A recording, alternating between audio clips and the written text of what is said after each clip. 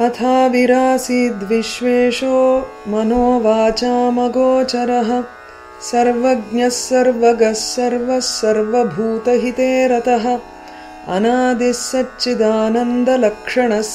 ईश्वरः। तम् दृष्ट्वा विस्मिताः सर्वे वसिष्ठाद्यामुनीश्वराः जयघोषम् पुरस्कृत्य प्रणिपत्य पुनः पुनः स्तोतुमारेभिरे सर्वे भक्त्या वनतकन्धराः। मुनय ऊचुः। नमस्ते देवदेवेश नमस्ते जगताम्पते। नमस्ते चन्द्रचूडाय नमस्ते शूलधारिणे।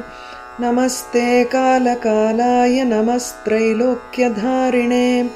नमस्ते वेदवेद्याय नमस्ते पुण्यमूर्तये नमस्ते ब्रह्मरूपाय नमस्ते विष्णुरूपिणे नमस्ते रुद्ररूपाय नम ईश्वररूपिणे नमः सदाशिवायास्तु नमः परशिवाय ते नमो देवाय महते मङ्गलाय महात्मने नमः पर्वतराजेन्द्रकन्यकापतये नमः योगानन्दाय योगाय योगिनां पतये नमः प्राणायामरतानां तु प्रत्यक्षाय नमो नमः।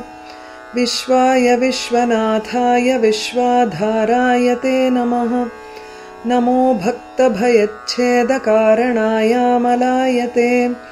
नमस्ते रुद्रभगवन्मन्यवेते चेशवे नमः। नमस्ते धन्विने तुभ्यं बाहुभ्यामुत ते नमः नमस्ते हरिकेशाय पतीनां पतये नमः।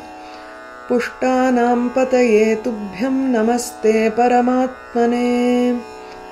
नमः शिवाय त्रिदशार्चिताय विनष्टदोषाय गुणार्णवाय विमुक्तिमार्गप्रतिबोधनाय देवादिदेवाय नमः शिवाय इति स्तुत्वा विश्वनाथं वसिष्ठाद्यास्तपोधनाः प्रणेमुर्दण्डवद्भूमौ भक्त्या परमयायुताः।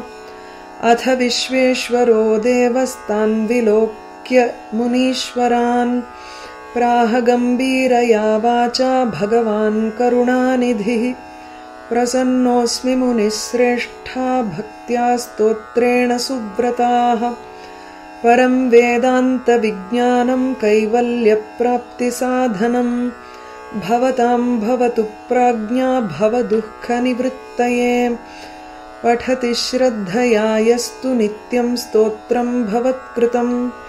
तस्मै धर्मार्थकामांश्च मुक्तिं दास्याम्यहं ध्रुवम्।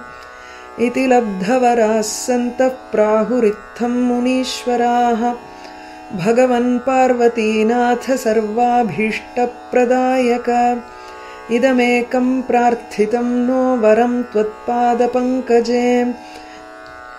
निश्चला परमा भक्तिः सततं भवतु प्रभो। इत्युक्तो मुनिसङ्घैस्तु वसिष्ठप्रमुखैर्हरः।